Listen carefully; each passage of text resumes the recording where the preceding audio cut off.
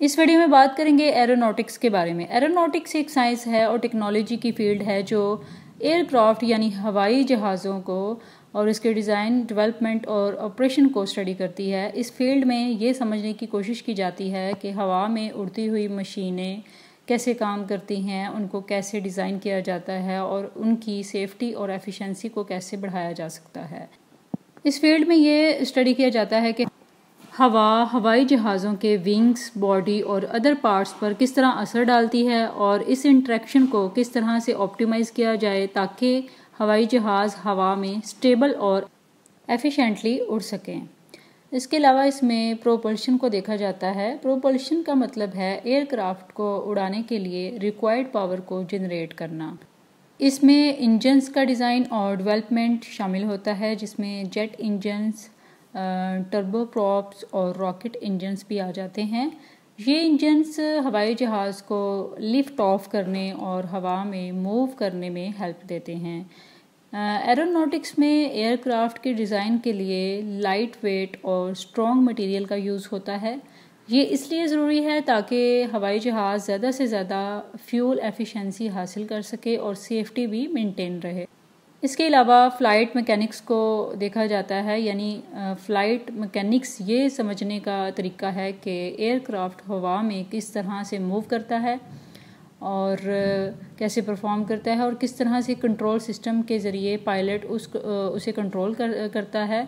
ये सारी चीज़ें एयरक्राफ्ट की स्टेबिलिटी और कंट्रोल के लिए इम्पोर्टेंट हैं। नेक्स्ट बात करते हैं एग्जांपल्स की तो इसकी एग्जांपल कमर्शियल एयरक्राफ्ट डिज़ाइन है। सोचिए कि एक कंपनी नया पैसेंजर प्लान डिज़ाइन कर रही है।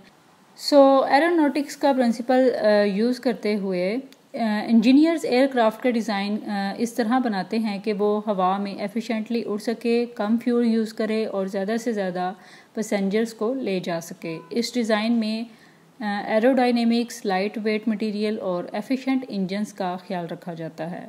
सो मिलिट्री फाइटर जेट्स भी इसके एक एग्जांपल है। मिलिट्री फाइटर जेट्स में एरोनॉटिक्स का एडवांस यूज़ होता है। इन जेट्स को इस तरह डिज़ाइन किया जाता है कि वो हाई स्पीड पर उड़ सकें और क्विकली मैन्यूवर्स कर सकें, यानी कोई तदबीर कर सकें। ये जेट्स स्टेल्थ टेक्नोलॉजी भी यूज़ करते हैं, जो उनको रेडर से छुपाने में मदद देती है।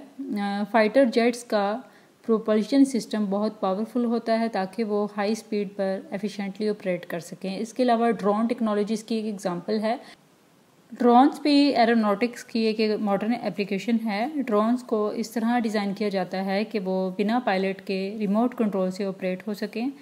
ड्रोन्स का यूज़ फ़ोटोग्राफी इसके अलावा डिलीवरी सर्विसेज़ के लिए भी होता है। इन ड्रोन्स के डिज़ाइन में भी एरोडाइनेमिक्स प्रोपल्शन और लाइट वेट मटेरियल का ख्याल रखा जाता है। नेक्स्ट बात करते हैं इसके बेनिफिट्स की। एरोनॉटिक्स की वजह से हम एयरप्लेन्स को ज़्यादा एफिशिएंट, सेफ़ और फास्ट बना सकते हैं, जो ग्लोबल ट्रैवल और ट्रेड को आसान बनाते हैं। इसके अलावा एरोनॉटिक्स मिलिट्री डिफेंस में भी बहुत अहम रोल अदा करता है। इसके अलावा स्पेस क्राफ्ट के ज़रिए स्पेस एक्सप्लोरेशन और साइंटिफिक रिसर्च में नई डायमेंशंस खुलती हैं, जो एरोनॉटिक्स की टेक्नोलॉजी का एक एक्सटेंशन है। सो एरोनॉटिक्स एक वास्ट फ़ील्ड है, जो हवाई जहाज़ों की डेवलपमेंट से लेकर स्पेस एक्सप्लोरेशन तक का अमल जो है वो कवर करती है। ये साइंस ह्यूमन ट्रैवल और एक्सप्लोरेशन को न्यू हाइट्स पर ले जाने में हेल्प देती है। आई होप सो आपको एरोनॉटिक्स का कंसेप्ट क्लियर हो गया होगा। For more informative and latest video kindly subscribe my channel